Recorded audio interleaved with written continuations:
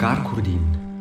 Biaon zemvergai da piquete estau siqueu, eu estou mal que eu ai nauxas novas pertai, il clavau de teu car tat florin ai berjaus giu. Cura que ti leges quelas linhas até el dizer dit satraus. E é bom necessário que ti feches il leun viadi siqueu. Ti sas denton esser sigirs, florin aveva fech pudentai, ed ela signau plavon Jeremias, vischneunca da mundeun.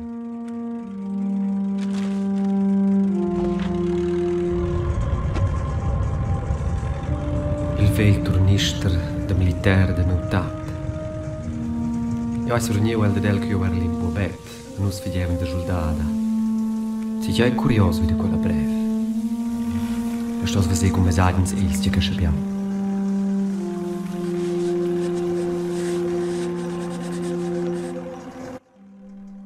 Bonjour à tous, on se retrouve aujourd'hui pour une petite perle indé qui vient de sortir, du nom de, si je prononce bien, Mundeun, ça s'appelle, euh, enfin ça s'écrit Mundown euh, si vous voulez, mais ça se prononce dans le jeu Mundeun, ça nous vient du, de Suisse, c'est une localité existante d'ailleurs, Mundeun, j'ai regardé, dans la région des Grisons si je ne m'abuse.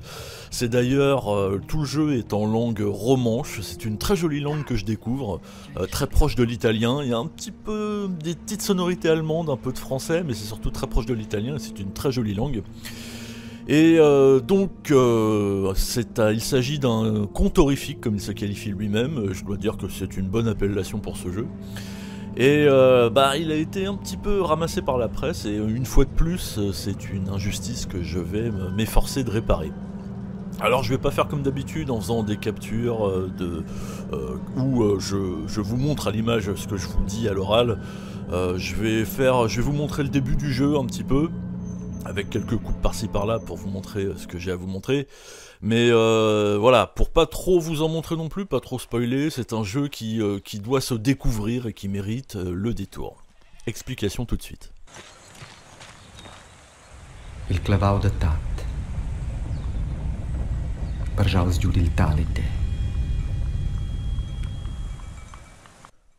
Donc Moondown est développé par Hidden Fields, un studio suisse évidemment. Mais c'est euh, Michel Ziegler euh, qui est à la base euh, d'un petit peu tout. Il a fait les dessins préparatoires, il a fait, il a écrit l'histoire. Apparemment, c'est un petit peu lui le maître à penser de ce jeu. Qui possède évidemment un style graphique absolument unique, dessiné à la main, en noir et blanc, tendance sépia. Euh, et un style qui fonctionne bien, étonnamment, qui fonctionne très bien. La presse a dit que techniquement euh, c'était euh, à la ramasse. Bah, je sais pas, sur mon PC j'ai pas trouvé, en tout cas, il y a quelques micro-frises, mais ça je pense que ça vient plus de mon matériel qu'autre chose. Mais sinon, il n'y a pas de ralentissement comme on a évoqué dans la presse. Donc, style vraiment unique, tout dessiné à la main. Ça a un charme, un charme vraiment terrible et qui se prête vraiment bien aux propos et à la région euh, citée. Alors, euh, j'ai pensé, je, vous livre justement une référence à ce sujet-là. J'ai vraiment pensé à- aux œuvres de Comès, Didier Comès, qui est un ancien dessinateur de BD. Enfin, plutôt de romans graphiques, puisque vraiment, le- c'était vraiment des pavés d'une centaine de, planches quand même. Donc là, roman graphique se prête bien, l'appellation se prête bien à ces ouvrages. Euh, et notamment, donc, Silence. Son œuvre la plus connue et puis la plus aboutie aussi à mon avis c'est Silence, tout en noir et blanc avec un superbe noir et blanc, euh, qui est une œuvre qui m'a marqué durant ma jeunesse, euh, c'est une œuvre dramatique, une œuvre pareille. Alors lui c'était les Ardennes, mais c'est pareil, c'est une, œuvre profondément régionale euh, qui, plus que tout, euh, clame son amour pour la région et euh, va développer une histoire et des personnages ruraux, tout dans le pittoresque et le, folklore un petit peu traditionnel, avec un petit peu de sorcellerie, exactement comme ce qui nous occupe ici aujourd'hui. Donc je vous recommande Silence de Comès, qui est une très belle œuvre.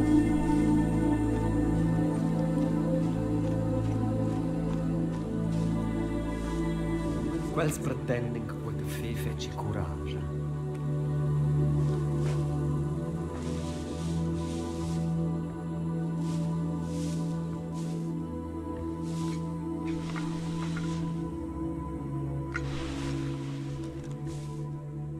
Attention, je mets un avertissement tout de suite, il faudra pas s'attendre à être plongé dans un abîme de terreur avec Moondeun. Hein. Il y a certes quelques moments de pure pression, de tension et de pourquoi pas même d'un peu de flip, mais vraiment, euh, il n'y a rien de spécialement traumatisant à ce niveau-là. Mais c'est avant tout un jeu d'ambiance, et quelle ambiance, quelle putain d'ambiance. Euh, je crois que s'il était sorti au moment où j'ai fait mon top 10 des jeux d'ambiance là, il aurait pu avoir sa place dedans. Donc euh, voilà, c'est pour dire quand même.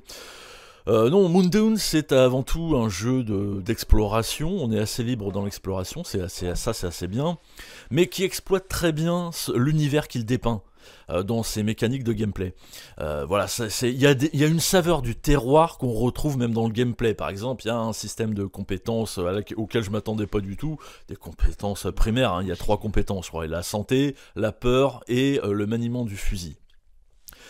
La seule dont on ressent vraiment l'évolution, c'est le maniement du fusil. Pour le reste, je dois dire que c'est c'est pas très probant. Mais enfin, euh, c'est surtout ce qui nous amène à ça. Ce que, j'adore, c'est par exemple pour réduire le sentiment de peur, il faut se faire du café. Et du café évidemment à l'ancienne, avec euh, la bûche de bois dans le poêlon, avec euh, la gamelle d'eau dans laquelle on verse le café.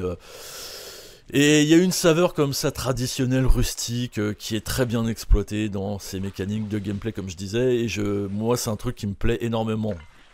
Voilà, on a toujours, on se plaint toujours d'avoir droit aux mêmes choses euh, dans les jeux. Bah là, pour le coup, c'est un truc qui change un peu.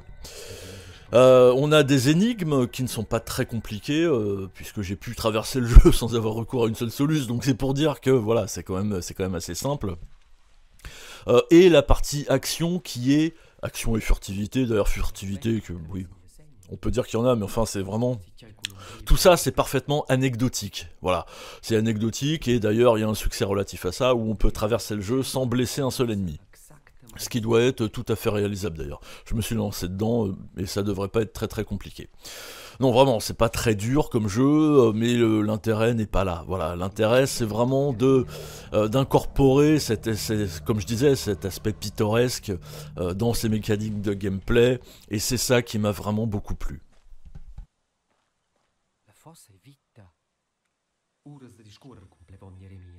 Une exploitation de la tradition et du folklore qu'on retrouve également et évidemment, j'ai envie de dire, dans la trame scénaristique, où on voit le fantastique faire son incursion dans le quotidien de façon euh, presque normale, euh, comme on pouvait euh, l'imaginer dans les campagnes d'antan avec une magie un surnaturel entre guillemets qui pouvait côtoyer le quotidien sans que ça paraisse finalement spectaculaire. Et finalement, même si je vais pas spoiler le scénario, mais au final, on pourra trouver décevant que ce qu'on nous raconte, c'est finalement ni plus ni moins qu'une des légendes les plus courantes euh, des régions de France et de Navarre, avec toutes les variantes que ça comporte. Euh, c'est une, une, une légende comme ça qu'on nous raconte dans Moondeun, mais euh, ce qui est important, c'est pas tellement ce qu'on nous raconte ici, c'est la manière dont on nous le raconte. Et ça, Moondeun le fait extrêmement bien, dans le sens où il se montre très intrigant, c'est le mot qui vient à l'esprit, il est très intrigant, il est assez mystérieux aussi, mais très intrigant, il donne constamment envie d'en savoir plus. Et ça, tout participe à ça. Euh, les péripéties, évidemment, euh, de la trame scénaristique, mais aussi l'univers dépeint est très intrigant. Euh, l'ambiance l'ambiance est assez captivante et tout ça fait que on, adhère complètement, on est, on est propulsé dans l'univers et on a constamment envie d'en savoir plus et c'est ça pour moi c'est le signe d'un soft qui fonctionne très bien.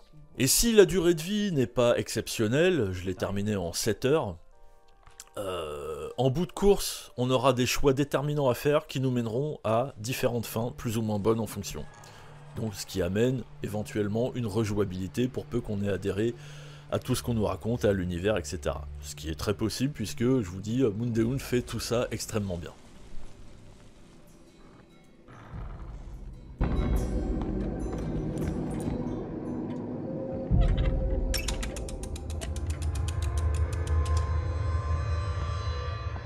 La casa de Tat quella glis d'ina candaila che svesa tras la finestra della camera de dormir. Terroir rustique, tradition, folklore, légende locale. Moondeun remet un peu tout ça au goût du jour, toutes ces racines qu'on a perdues de vue, en les incorporant en plus brillamment à son gameplay. Avec en plus un, amour authentique de la région, ça fleure bon les alpages, euh, les chalets, les boiseries, tout ça intégré dans un soft d'ambiance, une ambiance euh, inquiétante et mystérieuse extrêmement réussie, et au final, euh, Moondeun m'est apparu, même si c'est pas un terme qui lui convient de prime abord quand on le voit comme ça, mais il m'est apparu comme rafraîchissant, comme une bulle d'oxygène dans un média où on nous sert un peu trop souvent la même soupe. Pour tout vous dire, j'ai, euh, euh, je l'ai pris en faisant l'essai Steam. Je me, disais, je vais faire, je vais l'essayer pendant les deux heures réglementaires et je vais me faire rembourser parce que j'étais pas convaincu. J'étais pas sûr que ça allait me plaire. Et au final, euh, Moondeun m'a totalement séduit, je l'ai fini et je l'ai recommencé pour avoir une autre fin. Et donc un grand bravo à nos amis suisses, et notamment à Michel Ziegler, le, créateur du jeu.